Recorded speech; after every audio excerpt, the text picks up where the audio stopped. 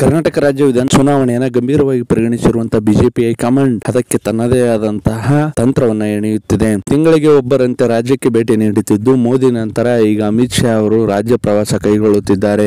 ಹಾಗಾದರೆ ರಾಜ್ಯ ಪ್ರವಾಸ ಕೈಗೊಳ್ಳುತ್ತಿರುವುದು ಯಾಕೆ ಅಮಿತ್ ಶಾ ಯಾವಾಗ ಬರಲಿದ್ದಾರೆ?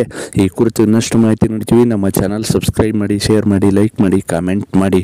ರಾಜ್ಯ ವಿಧಾನಸಭೆ ಚುನಾವಣೆಗೆ ಬರೋಬ್ಬರಿ ಇನ್ನು ಮೂರು ತಿಂಗಳು ಮಾತ್ರ ಬಾಕಿ ಇದ್ದು, ಈ ಅವಧಿಯಲ್ಲಿ ದಿನೇ ದಿನೇ ಬಿಜೆಪಿಯ ಹೊಸ ಹೊಸ ಪ್ಲಾನ್ಗಳು ಜಾರಿಗೊಳ್ಳುತ್ತಿವೆ.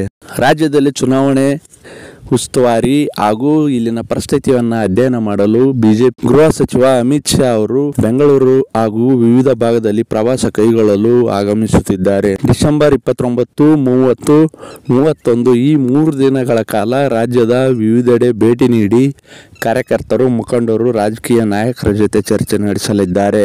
ಎರಡ್ ಸಾವಿರದ ಇಪ್ಪತ್ತ್ ಮೂರರ ವಿಧಾನಸಭೆ ಚುನಾವಣೆ ಎದುರಿಸುವುದು ಅಭ್ಯರ್ಥಿಗಳ ಆಯ್ಕೆ ಕ್ಷೇತ್ರದ ಪರಿಸ್ಥಿತಿಯನ್ನ ಅಮಿತ್ ಶಾ ಅವರು ಅಧ್ಯಯನ ಮಾಡುವಂತಹ ಸಾಧ್ಯತೆ ಇದೆ. ಈ ಸಂದರ್ಭದಲ್ಲಿ ರಾಜವಲಿ ಯಡಿಯೂರಪ್ಪ ಅವರ ಜೊತೆ ಹಾಗೂ ಮುಖ್ಯಮಂತ್ರಿ ಬಸವರಾಜ ಬೊಮ್ಮಾಯಿ ಜೊತೆ ಹಲವು ಸುತ್ತಿನ ಮಾತುಕತೆ ನಡೆಸಿ ಅಭ್ಯರ್ಥಿಗಳ ಆಯ್ಕೆ ಕುರಿತು ಹಾಗೂ ಎರಡ್ ಸಾವಿರದ ಇಪ್ಪತ್ತ್ ಮೂರರ ಚುನಾವಣೆ ಸ್ಟ್ರಾಟಜಿ ಕುರಿತು ಚರ್ಚೆ ನಡೆಸಲಿದ್ದಾರೆ ಎಂದು ಹೇಳಲಾಗುತ್ತಿದೆ. ಗೃಹ ಸಚಿವ ಅಮಿತ್ ಶಾ ಅವರು ಮೂರು ದಿನ ಪ್ರವಾಸ ಕೈಗೊಳ್ಳುತ್ತಿರುವುದು ಬಿಜೆಪಿ ನಾಯಕರಲ್ಲಿ ಹೊಸ ಉತ್ಸಾಹ ಬಂದಂತಾಗಿದ್ದು, ಕಾಂಗ್ರೆಸ್ ಹಾಗೂ ಜೆಡಿಎಸ್ ಆತಂಕ ಶುರುವಾಗಿದೆ.